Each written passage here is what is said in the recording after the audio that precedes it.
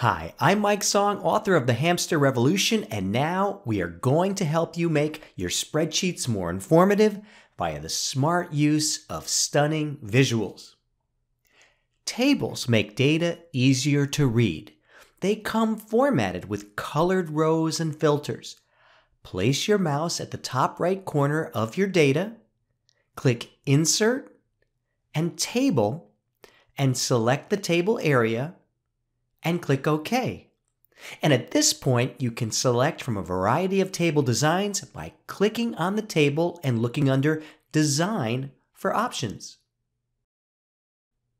Drop-down lists help users select from a consistent group of options. Create your list items in another part of your spreadsheet.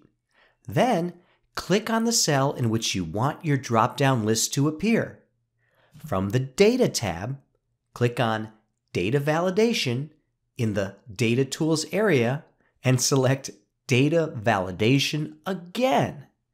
Click on the drop down menu below Allow and select List. Click on the source area and select the cells that contain the info that you want to appear in your drop down list and click OK. If you scroll down in a spreadsheet and can't see the headers, it can be hard to know what is actually in each column. However, if you freeze the top header row, you can always see what is in each column as you scroll down. The titles are visible. To freeze a row, select the entire row below the row or rows that you want to freeze. Click the View tab on the ribbon and select the Freeze Panes command. Click Freeze Panes. The rows now freeze at the gray horizontal line. You can also use this process to freeze a column.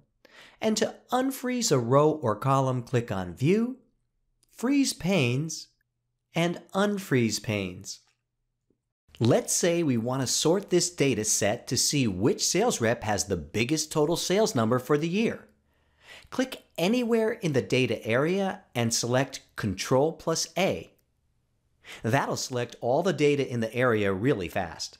Now click Data and Sort.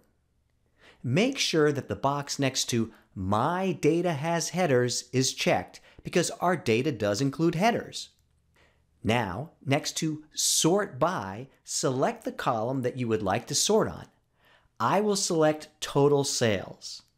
Under order, I'll leave largest to smallest as my selection and click OK. And now I can clearly see that Pam had the biggest sale of the year because I was smart about sorting. The filter feature allows you to select what information you do and don't see.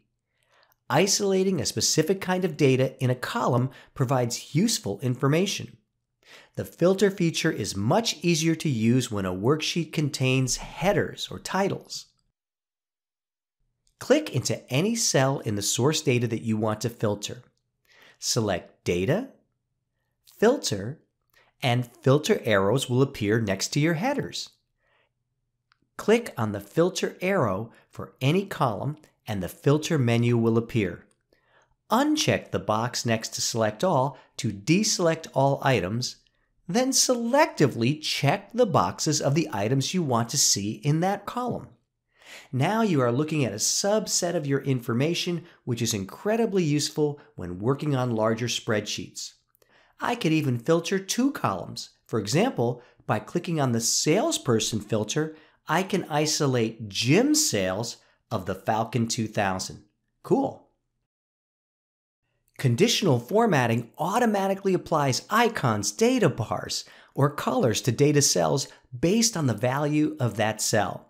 If you had sales info and wanted your top sales month to be in green and your worst sales month to be in red, you could do it with conditional formatting. Select the cells where you want to apply conditional formatting. From the Home tab, click on Conditional Formatting, Hover your mouse over the preferred conditional formatting type. There are tons of options. Click on your format type and presto. Now you can see patterns and highlights in the data. For example, it looks like Carlos, our number one sales rep, started the year with excellent sales, lots of green, but is trending downwards in Q2 as signified by the red color here. Charts are really cool. They provide a colorful, informative representation of data contained within spreadsheets. Select the data in a worksheet that you want to use for a chart. Include the column and row descriptions or headers. Click Insert, click your preferred chart category, and then click your preferred chart type. There are many great options here. I often click on Recommended Charts to see what options Excel will offer. I really like this line chart as it shows the sales trend for each rep. Notice Pam sales are rising steadily throughout the first half of the year. Interesting. In many cases, the chart will be easier to understand if you delete the features that make it look busier, including lines and labels that do not add value. If you click on the chart, you will see the modification options on the upper right side of the chart. Starting with Excel 2013, users can more easily use three design tools to modify charts. The green plus sign allows you to remove elements from your charts like data labels or grid lines. The paintbrush lets you set a chart style and a color scheme, and the filter icon lets you edit what data appears in your chart. Now pause and practice each formatting tool we discussed, and your spreadsheets will be more colorful and informative.